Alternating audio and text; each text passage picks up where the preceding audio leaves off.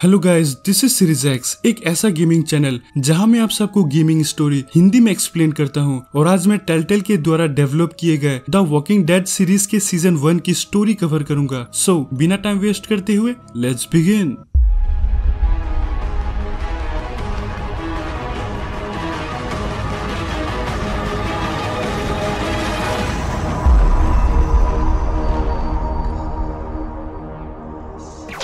तो स्टोरी की शुरुआत एक हिस्ट्री टीचर ली एवरेज से होती है, जिसने अपनी वाइफ को चीट करते हुए पकड़ा और अपनी वाइफ के बॉयफ्रेंड का मर्डर करने के जुर्म में ली गिरफ़्तार हो चुका है और अब गिरफ़्तार हो चुका ली पुलिस ऑफिसर के साथ प्रिजन जाने के रास्ते पर है, जहाँ रास्ते में उनकी कार की टक्कर एक वॉकर से हो जाती है और उनका एक्सीडेंट हो जाता है और यहाँ वॉकर्स जोम्बिस को बोला जाता है। ली किसी तरह कार क्रैश सरवाइव करता है, जहाँ वो देखता है पुलिस ऑफिसर जोम्बी में बदल चुका है। और जोम्बी में बदल चुके ऑफिसर से ली किसी तरह अपनी जान बचाता है, लेकिन वो अपने आप को जोम्बी से घिरा पाता है। और यहाँ कार क्रैश में ली का एक पैर बुरी तरह जख्मी हो चुका है। ली किसी तरह अपनी जान बचाकर शेल्टर की तलाश में पास के एक घर पहुँचता है, जहाँ उसकी मुलाकात क्लेमेंटाइन नाम की एक छोटी बच्ची से होती है, जो जोम्बिस से बचने के लिए अपने ट्री हाउस में छुपी थी। यहाँ क्लेमेंटाइन अपने पेरेंट्स के लौटने का इंतज़ार कर रही है, जो कुछ दिनों के लिए ट्रिप पे सवाना गए थे। लेकिन क्लेमेंटाइन के पेरेंट्स जोम्बी अटैक में सवाना में मारे जा चुके हैं और इस बात से क्लेमेंटाइन अनजान है। यहाँ क्लेमेंटाइन के पेरेंट्स ने सेंड्रा नाम की एक केयर टेकर को क्लेमेंटाइन का ख्याल रखने के लिए उसके पास छोड़ा था। लेकिन सेंड्रा जोम्बी बन चुकी है और ली सेंड्रा को मार देता है। दोनों सेफ़ जगह की तलाश में आगे बढ़ते हैं, जहाँ वो सॉन ग्रीन और चैड नाम के दो सर्वाइवर्स से मिलते हैं। यहाँ सॉन एक काइंड हार्टेड और हेल्पफुल पर्सन है और सॉन ली और क्लेमेंटाइन को प्रॉब्लम में देखकर उन्हें अपने साथ उसके पिता के फार्म ले जाता है, जहाँ वो जोम्बिस से सेफ़ रहेंगे। सॉन के घर पहुँचने पर सॉन के पिता हर्सल ग्रीन ली के इंजर्ड लेग पर बैंडेज लगाकर ट्रीट करते हैं और हर्सल के फार्म में रात गुजारने के बाद अगली सुबह ली केनी नाम के एक आदमी और उसकी फैमिली से मिलता है। और अब फार्म में रह रहे सारे लोग पूरे फार्म के चारों तरफ़ वुडन बैरियर बना रहे हैं ताकि वो जोम्बी से सेफ़ रहें। लेकिन तभी कैनी का बेटा डग गलती से सॉन के ऊपर ट्रैक्टर चढ़ा देता है और ट्रैक्टर की आवाज़ सुनकर जोम्बी सॉन और डग पर हमला कर देते हैं। ली सॉन को बचाने की कोशिश करता है, लेकिन उसकी कोशिश नाकाम रहती है और कैनी ली की मदद करने के बजाय अपने बेटे को उठाकर पीछे हट जाता है। चिल्लाने की आवाज़ सुनकर हर्षल अपने शॉटगन के साथ वहाँ आता है, लेकिन तब तक देर हो जाती है और सोन मारा जाता है और अपने बेटे को खोने की वजह से हर्षल गुस्से में है, क्योंकि कैनी चाहता तो ली की मदद कर सकता था और इस वजह से हर्षल ली के साथ कैनी और उसकी फैमिली को फार्म से भगा देता है। और अब ली क्लेमेंटाइन कैनी और उसकी फैमिली के साथ मिलकर मेकिन जॉर्जिया की तरफ़ बढ़ता है, लेकिन कार का पेट्रोल खत्म होने की वजह से उन्हें बीच रास्ते में रुकना पड़ता है, जहाँ उनका सामना जोम्बी से होता है। लेकिन समय रहते कार्ली नाम की एक लड़की उन्हें जोम्बी से बचाकर अपने साथ एक मेडिकल स्टोर ले जाती है जहाँ कार्ली अपनी ग्रुप के साथ सरवाइव कर रही है, यहाँ कार्ली की ग्रुप लीडर लिली है और लिली कार्ली और ग्लेन के ऊपर गुस्सा होती है, क्योंकि वो ऐसे ही किसी अनजान लोगों की मदद नहीं कर सकते और ऐसा करने में बहुत खतरा है। दोनों ग्रुप के बीच इस बात पे बहस होती है कि डक जोम्बी के द्वारा काट लिया गया है और वो इन्फेक्टेड है, लेकिन खुशकिस्मती से डक बिल्कुल ठीक है और इस दौरान मेडिकल स्टोर के बाथरूम से एक जोम्बी आ जाता है। जिसे कार्ली सूट कर देती है और गन शॉट की आवाज़ सुनकर कई सारे जोम्बीज वहाँ आने लगते हैं। लेकिन लकीली कुछ दूर हुए धमाके की वजह से सारे जोम्बीज वापस लौट जाते हैं और आसपास हो रहे हादसों को देखकर लिली के पिता लैरी को हार्ट अटैक आ जाता है और उन्हें जल्द ही मेडिसिन की ज़रूरत है। लेकिन फार्मेसी लॉक है और चाबी उनके पास नहीं है। और अब उन्हें दो चीज़ों की ज़रूरत है। पहला, नाइट्रोग्लिसरीन पिल्स, जिसकी ज़रूरत लिली के पिता को है, और दूसरा पेट्रोल, ताकि वो जॉर्जिया से दूर किसी सेफ़ जगह जा सके। ग्लैन नाम का एक मेंबर डिसाइड करता है कि वो पास के एक मोटेल जाकर ज़रूरी सामान और पेट्रोल लेकर आएगा और इस दौरान ली उस रूम की चाबी ढूंढेगा, जहाँ मेडिसिन रखा है और बाकी के लोग आसपास नज़र रखेंगे। यहाँ हमें पता चलता है कि जिस मेडिकल स्टोर में फ़िलहाल सब रुके हैं, वो ली के पेरेंट्स का है, जो ली के पिता और भाई मिलकर चलाते थे और यहाँ ली को अपनी फैमिली फ़ोटो मिलती है और शायद ली की फैमिली मारी जा चुकी है। यहाँ कार्ली को ली और उसके पास्ट के बारे में पता है और ये भी कि मेडिकल स्टोर उसके पेरेंट्स का है। लेकिन कार्ली डिसाइड करती है कि वो इस बात को सीक्रेट रखेगी। ली डग नाम के एक आईटी टेक्नीशियन के साथ फार्मेसी की चाबी ढूँढने निकलता है और इस दौरान ली को अपना भाई मिलता है, जो जोम्बी बन चुका है, और अपने भाई को इस हाल में देखकर ली एज्यूम करता है कि माँ और पिताजी को बचाने की कोशिश में उसका भाई जोम्बी के द्वारा मारा गया होगा, और अपने भाई को इस हालत में देखकर ली काफ़ी दुखी होता है। लेकिन ली को मजबूरन अपने भाई को मारना पड़ता है, ताकि वो फार्मेसी की चाबी हासिल कर पाए। चाबी हासिल करके ली फार्मेसी को अनलॉक कर फार्मेसी के अंदर जाता है, लेकिन तभी वहाँ अलार्म एक्टिवेट हो जाता है, जिस वजह से पूरे एरिया के जोम्बीज उनकी तरफ़ बढ़ने लगते हैं और लिली के पिता को मेडिसिन देने के बाद वो मेडिकल स्टोर से भागते हैं। लेकिन वो चारों तरफ़ से जोम्बी से घिर चुके हैं और इस दौरान हम या तो डग को बचा सकते हैं या फिर कार्ली और इस डिसीज़न के हिसाब से आगे की जर्नी में या तो डग हमारे साथ होगा या कार्ली दोनों में से किसी एक को बचाने के बाद पूरा ग्रुप स्टोर से भागने में कामयाब होता है। ग्रुप शेल्टर की तलाश में मोटेल की तरफ़ बढ़ते हैं और मोटेल पहुंचकर ग्लेन ग्रुप से अलग होकर अपने दोस्तों की मदद करने एटलांटा सिटी लौट जाता है, जहाँ उसके दोस्त जोम्बिस के बीच फंसे हैं। शेल्टर खाना और पानी मिलने की वजह से पूरा ग्रुप राहत की सांस लेता है। मोटेल में तीन महीने सरवाइव करने के बाद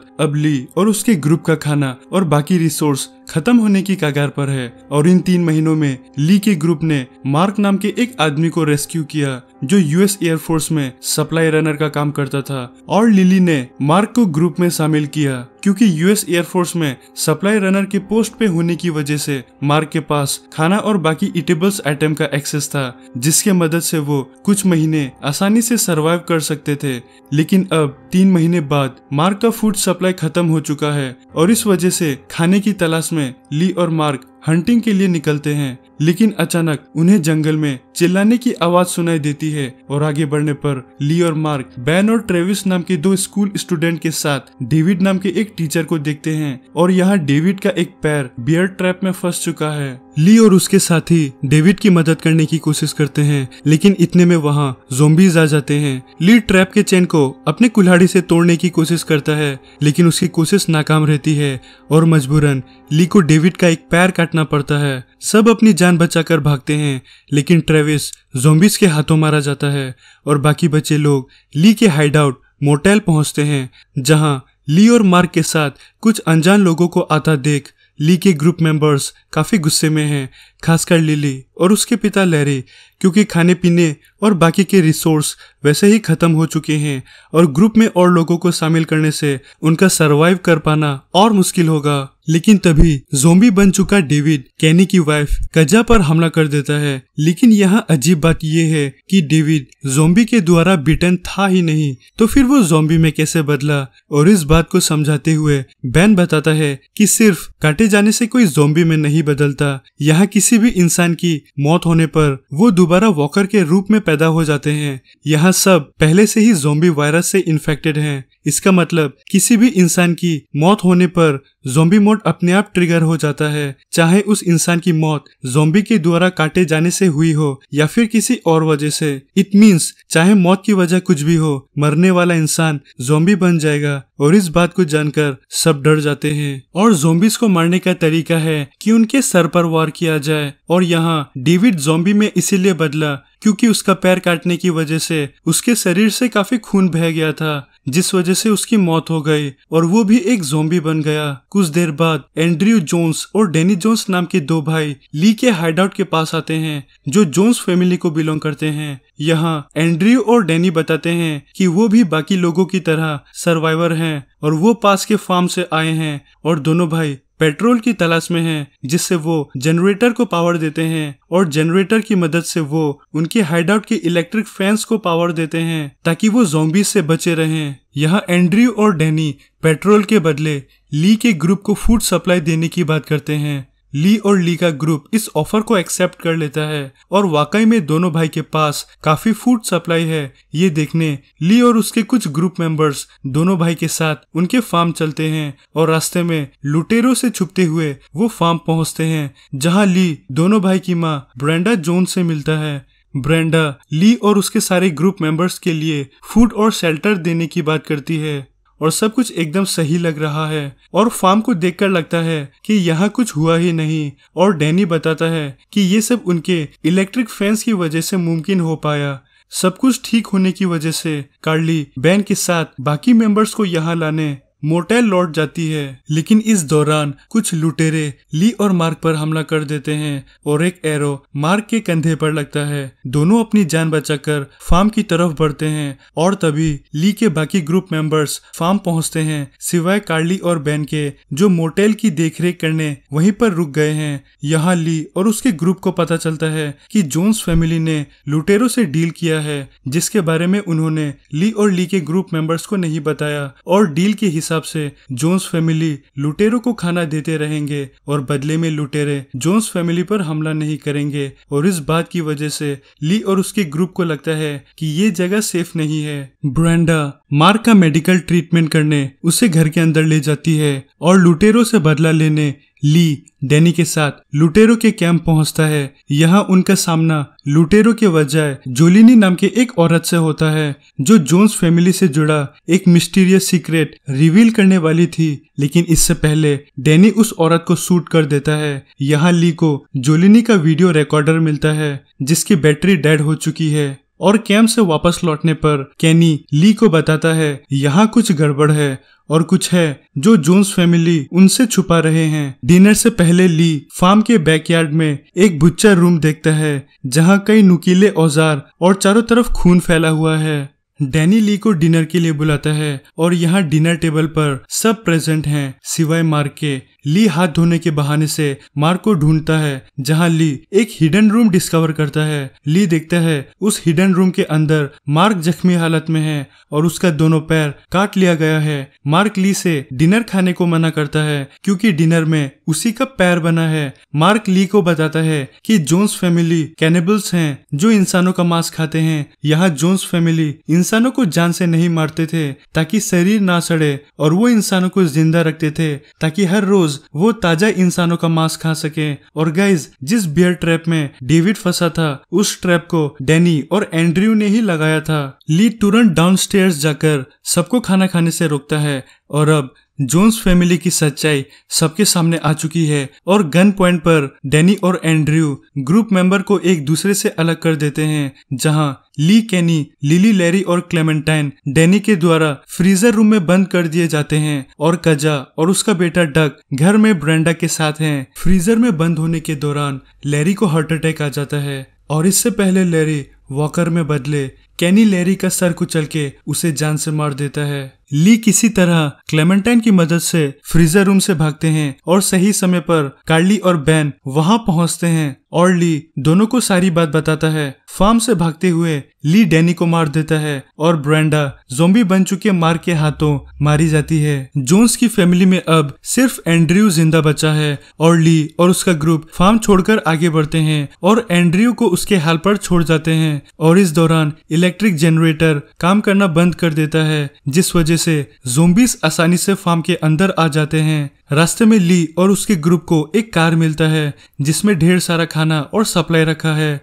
और फ़ूड सप्लाई के साथ ली को कार में कुछ बैटरीज मिलती हैं, जिसे जोलिनी के वीडियो रिकॉर्डर में लगाकर ली देखता है कि जोलिनी बहुत पहले से उन पर नज़र रख रही थी और जोलिनी को क्लेमेंटाइन की फ़िक्र थी। और जोलिनी को पता था कि जब तक जोन्स फैमिली लुटेरों से डील करते रहेंगे, तब तक ली का ग्रुप सेफ़ रहेगा। जोन्स फैमिली का खात्मा होने के बाद लुटेरो का अटेंशन ली के ग्रुप पर है और इस दौरान कैनी ने एक ट्रक को रिपेयर किया है, जिसकी मदद से वो लुटेरो से दूर भाग सकते हैं। लेकिन लिली कैनी के इस प्लान से डिसएग्री करती है, क्योंकि उनके ग्रुप में से कोई है जो लुटेरो से मिला हुआ है, जो चोरी चुप के लुटेरों को मेडिसिन पहुँचा रहा है और लिली उस शख्स का पता लगाना चाहती है। लेकिन इससे पहले वो ये पता लगा पाते लुटेरे उन पर हमला कर देते हैं और गन शॉट की आवाज़ से वहाँ कई सारे जोम्बीज आ जाते हैं, जिस वजह से ग्रुप को फ़ूड सप्लाई और मेडिसिन पीछे छोड़कर कैनी के द्वारा रिपेयर किए गए ट्रक में भागना पड़ता है।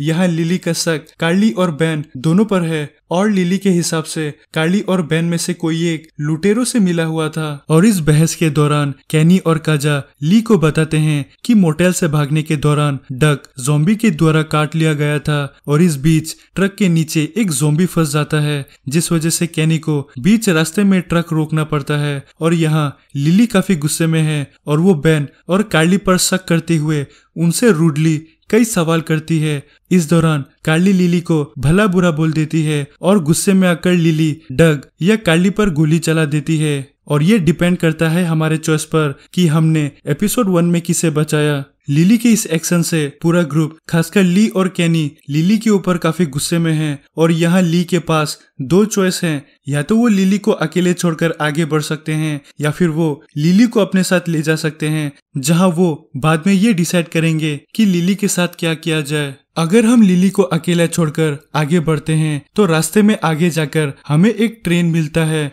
जिससे आगे जाने का रास्ता ब्लॉक है और ट्रेन के अंदर ली को चार्ली नाम का एक सर्वाइवर मिलता है और केनी ट्रेन को स्टार्ट करने का तरीका ढूंढता है। और अगर हम लिली को अपने साथ ले चलते हैं, तब भी ऑलमोस्ट सब कुछ पहले जैसा होता है। आगे जाके हमें एक ट्रेन मिलता है, जिसकी वजह से आगे का रास्ता ब्लॉक है और सब ट्रक से उतरकर ट्रेन की तरफ़ जाते हैं, सिवाय लिली के और मौका देखकर लिली ट्रक लेकर भाग जाती है और इसके बाद बाकी सब पहले जैसा होता है, ली ट्रेन के अंदर जाता है, जहाँ उसे चार्ली नाम का एक सर्वाइवर मिलता है और केनी ट्रेन को स्टार्ट करने का तरीका ढूंढता है। लकीली ट्रेन अब भी वर्किंग कंडीशन में है और ट्रेन को सक्सेसफुली स्टार्ट करने के बाद पूरा ग्रुप सवाना के लिए निकलता है और इस दौरान डक की हालत और बिगड़ती जा रही है और ली कैनी से ट्रेन रोककर उसके बेटे डक के इस कंडीशन से उसे डील करने बोलता है।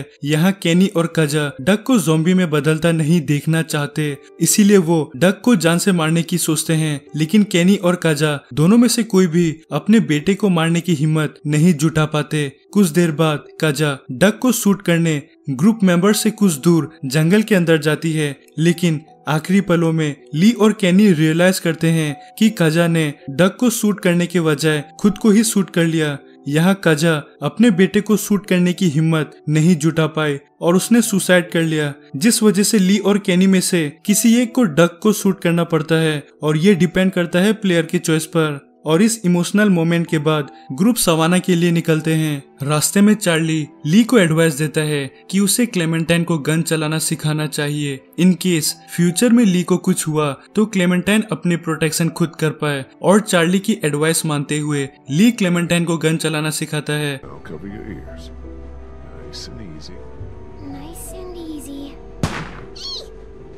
You okay? My hands hurt.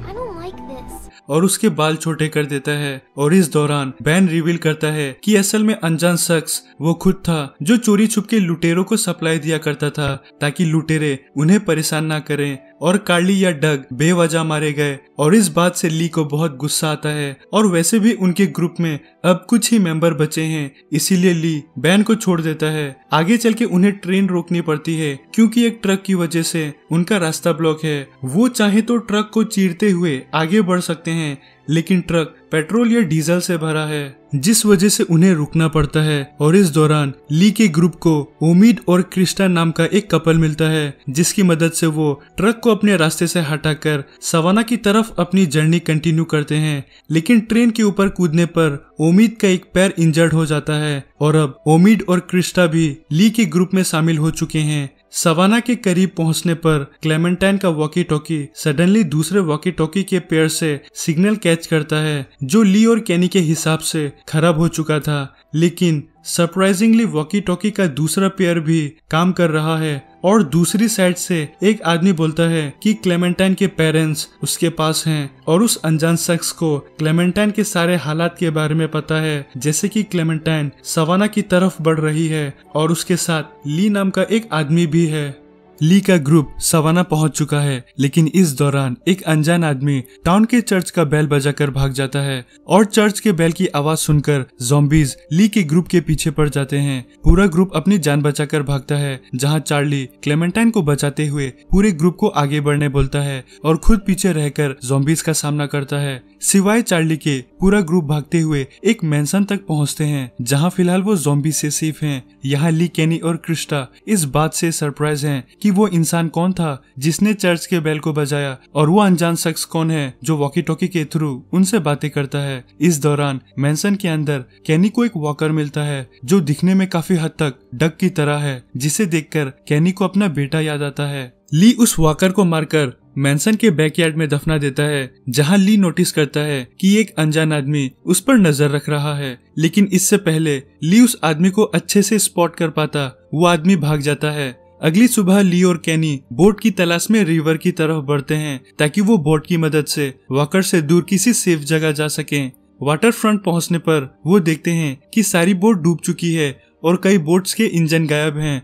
और इस दौरान दोनों का सामना मौली नाम की एक लड़की से होता है। यहाँ मौली बताती है कि कहीं भी जाने से पहले वो चर्च का बैल बजा देती है ताकि सारे वर्कर्स एक जगह इकट्ठा हो जाएँ और वो सप्लाई या फ़ूड की तलाश में कहीं भी आसानी से आ जा सके। और मौली ली और कैनी को क्रोफर्ड नाम के एक ग्रुप के बारे में आगाह करती है और यहाँ क्रॉफर्ड एक ऐसा ग्रुप है जो अपने सेफ्टी के लिए किसी भी हद तक जा सकते हैं और वो अपनी सेफ्टी इंश्योर करने के लिए किसी दूसरे की जान लेने से नहीं हिचकिचाते और क्रॉफर्ड ग्रुप में ना कोई बच्चा है और ना कोई बूढ़ा और यहाँ मॉली से पहली बार इंटरेक्शन होने पर कैनी से गोली चल जाती है, जिस वजह से वहाँ जोम्बीज आने लगते हैं। और इस दौरान ली कैनी क्लेमेंटाइन और मॉली से अलग हो जाता है और अपनी जान बचाते हुए ली सीवर के रास्ते भाग जाता है। और यहाँ ली की मुलाकात कुछ कैंसर सर्वाइवर से होता है, जो क्रॉफर्ड ग्रुप से बचने के लिए यहाँ छुपे थे। यहाँ ली का इंटरेक्शन वर्णन और ब्री से होता है, और वर्णन पैसे से एक डॉक्टर है, और वो अकेला डॉक्टर है, जो इस ग्रुप की देखरेख करता है। ली वर्णन को बताता है कि वो यहाँ कैसे पहुँचा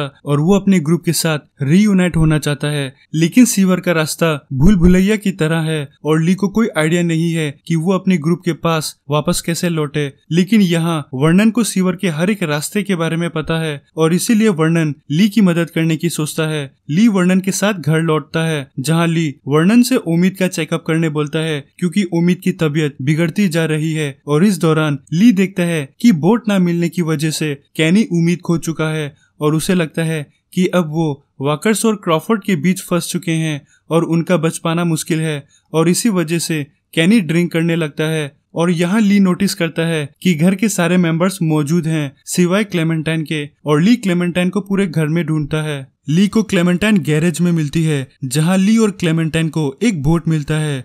लेकिन यहाँ बोट आउट ऑफ़ फ्यूल है और बोट की बैटरी डेड हो चुकी है, जिस वजह से पूरा ग्रुप रात के टाइम वर्णन और ब्री के साथ क्रॉफर्ड के हाइडआउट से ज़रूरी सप्लाई चुराने का प्लान बनाते हैं और दूसरी तरफ़ ओमिट का इन्फेक्शन बढ़ते जा रहा है और उसे जल्द ही एंटीबायोटिक्स की ज़रूरत है। पूरा ग्रुप प्रिपेयर होकर सीवर के रास्ते क्रोफर्ड ग्रुप के हाइडआउट पहुँचते हैं और दूसरी तरफ़ क्लेमेंटाइन उम्मीद का ख्याल रखने घर रुक जाती है। हाइडआउट पहुंचकर ग्रुप देखता है की वॉकर्स के द्वारा क्रोफर्ड पर हमला है और क्रोफर्ड के ज़्यादातर लोग मारे जा चुके हैं। ली और उसका ग्रुप वॉकर्स से छुपते हुए पास के स्कूल में छुप जाते हैं, जहाँ ग्रुप तीन टीम में डिवाइड होकर बैटरी फ्यूल और मेडिसिन ढूंढते हैं और इस दौरान ली के हाथ एक वीडियो टेप लगता है, जिसे देखकर ली को पता चलता है कि मौली और उसकी बहन एक टाइम पे क्रॉफर्ड ग्रुप के मेंबर थे। और मौली लोगन नाम के एक डॉक्टर को सेक्सुअल प्लेजर दिया करती थी और सेक्सुअल फीवर के बदले मोली डॉक्टर से अपनी डायबिटिक सिस्टर के लिए मेडिसिन लिया करती थी। फ्यूल बैटरी और मेडिसिन हासिल करने के बाद पूरा ग्रुप स्कूल से भागता है और इस दौरान बैन कैनी के सामने कन्फेस करता है कि वही वो अनजान शख्स है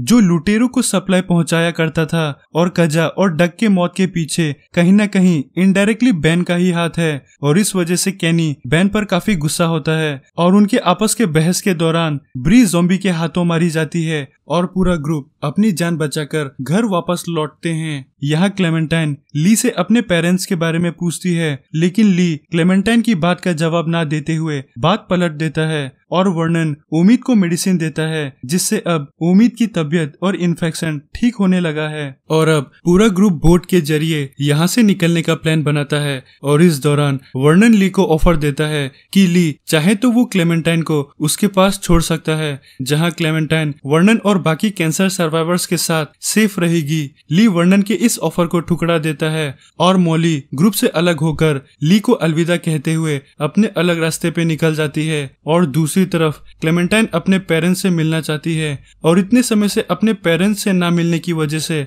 क्लेमेंटाइन उदास है और रोते रोते क्लेमेंटाइन सो जाती है। ली क्लेमेंटाइन पर नज़र रखते हुए उसके पास बैठता है, लेकिन ली की आँख लग जाती है और अगली सुबह जब ली को होश आता है तो वो देखता है क्लेमेंटाइन मिसिंग है और क्लेमेंटाइन का हेड और वॉकी टॉकी घर के बाहर ज़मीन पर पड़ा है। क्लेमेंटाइन को ढूँढने की कोशिश में एक वॉकर ली के हाथ पर काट लेता है। और यहाँ ली अपने टीममेट्स को बताता है कि वो जोम्बी के द्वारा बिटन है या फिर वो इस बात को छुपा सकता है। और ये सब डिपेंड होता है प्लेयर की चॉइस पर। ली को क्लेमेंटाइन की फ़िक्र होती है और पूरा ग्रुप क्लेमेंटाइन को ढूँढने में ली की मदद करने की सोचता है। यहाँ ली का पहला शक वर्णन पर जाता है, क्योंकि पिछली रात वर्णन ली से क्लेमेंटाइन को उसके पास छोड़ जाने की बात कर रहा था, लेकिन वर्णन के हाइड आउट पहुँचने पर वो देखते हैं कि सप्लाई के साथ सारे लोग वहाँ से गायब हैं और हाइड आउट पूरी तरह खाली है। और इस दौरान क्लेमेंटाइन का वॉकी टॉकी सिग्नल पकड़ता है, जहाँ कॉल पे क्लेमेंटाइन के साथ एक अनजान आदमी की आवाज़ सुनाई देती है और वो अनजान आदमी ली को बताता है कि वो वर्णन नहीं है और क्लेमेंटाइन उसी के पास है। और इस दौरान ली बेहोश हो जाता है और ग्रुप के सारे लोग डिसाइड करते हैं कि वो ली का इन्फेक्टेड हाथ काट देंगे और ऐसा करने से हो सकता है ली जोम्बी इन्फेक्शन से बच जाए। हालाँकि कोई श्योर नहीं है कि उनका ये प्लान काम करेगा या नहीं, लेकिन ली रिस्क उठाने को तैयार है। क्रिस्टा ली का हाथ काट देती है और इस प्रोसेस में ली बेहोश हो जाता है। ली के होश आने पर पूरा ग्रुप क्लेमेंटाइन को ढूँढने निकलता है, जहाँ मैंसन पहुँचने पर वो देखते हैं कि वर्णन का ग्रुप उनकी बोट चुराकर वहाँ से जा चुके हैं। और यहाँ बैन और केनी के बीच बहस शुरू हो जाती है और उन दोनों के बीच हुए लड़ाई के शोर की वजह से जोम्बिस उनकी तरफ़ अट्रैक्ट होकर उन पर हमला कर देते हैं और पूरा ग्रुप अपनी जान बचाते हुए अपने आप को मैंसन में बंद कर लेते हैं। यहाँ एक बार फिर वॉकी टॉकी पे ली को क्लेमेंटाइन की आवाज़ आती है और ली को पता चलता है कि क्लेमेंटाइन मार्स हाउस होटल में है, जहाँ क्लेमेंटाइन के पेरेंट्स रुके हुए थे। ली और ली का ग्रुप किसी तरह मेंशन से निकलकर आगे बढ़ते हैं, जहाँ रास्ते में बेलकोनी से छलांग लगाते हुए बैन नीचे गिर जाता है और एक लोहे का सरिया उसके शरीर के आर पार हो जाता है और बैन के चिल्लाने की आवाज़ से जोम्बीज वहाँ आ जाते हैं और केनी पीछे रुककर ली को आगे बढ़ने बोलता है, जहाँ केनी आखिरी गोली बैन को मारकर उसे दर्द से आज़ाद कर देता है और खुद जोम्बी के द्वारा मारा जाता है। और अब ग्रुप में सिर्फ़ तीन लोग बचे हैं, उम्मीद क्रिस्टा और ली, जहाँ रास्ते में ली, उम्मीद और क्रिस्टा से अलग हो जाता है। और ली जोम्बीज को मारते हुए अकेले मार्स हाउस होटल पहुँचता है, जहाँ ली का सामना क्लेमेंटाइन के किडनैपर से होता है। यहाँ किडनैपर ने क्लेमेंटाइन को अपने साथ सही सलामत रखा था। किडनैपर बताता है कि ली के ग्रुप को जंगल में फ़ूड और सप्लाई से भरा हुआ जो कार मिला था, असल में वो कार उसी किडनैपर और उसकी फैमिली का था। किडनैपर बताता है कि हंटिंग के दौरान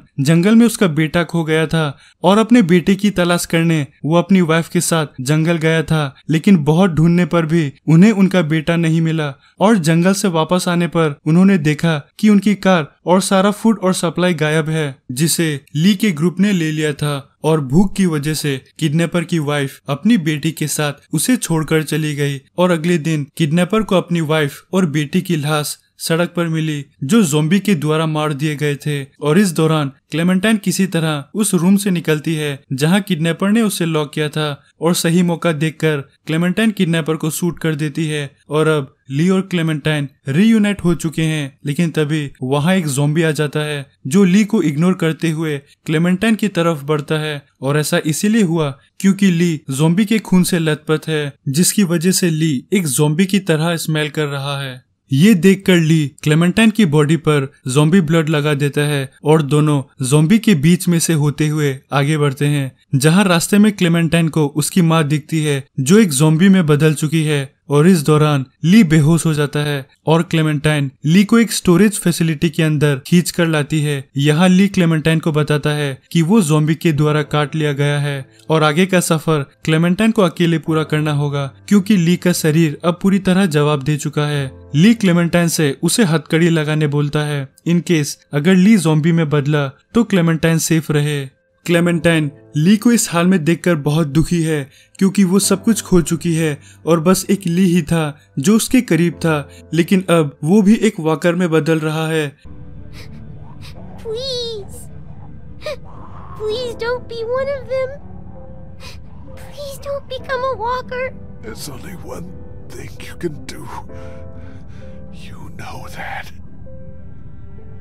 I don't know if I can. Lee Clementine से आगे बढ़ने बोलता है, और क्लेमेंटाइन आगे बढ़ने से पहले या तो ली को सूट कर सकती है, या फिर ली को उसके हाल पर छोड़कर आगे बढ़ सकती है। लेकिन दोनों ही केस में ली की मौत तय है। क्लेमेंटाइन अब अकेली है, और बहुत दूर तक चलने के बाद थक कर कुछ देर के लिए रुकती है, जहाँ क्लेमेंटाइन को दूर कुछ लोग दिखाई देते हैं।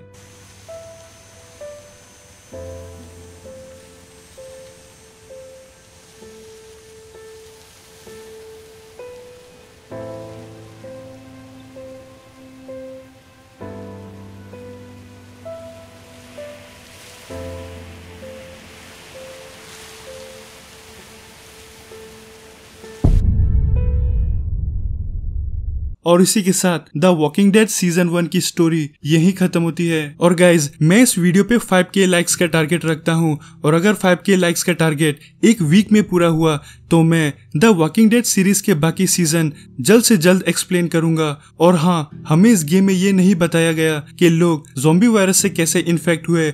और यहाँ वायरस आउटब्रेक का रीजन अननोन है। और हमें ये भी नहीं बताया गया कि ट्रक चुराने के बाद लिली का क्या हुआ। और ओमिड और क्रिस्टा अब कहाँ और किस हाल में है? सो गाइज़ इसी के साथ ये वीडियो यही खत्म होती है। और अगर आप सबको वीडियो अच्छा लगा हो तो वीडियो को लाइक और शेयर ज़रूर कीजिए और कमेंट करके बताइए कि ली के मरने पर कितने लोगों को दुख हुआ। और अगर आप सब चैनल पर नए हैं तो please subscribe so guys keep watching keep supporting series X M out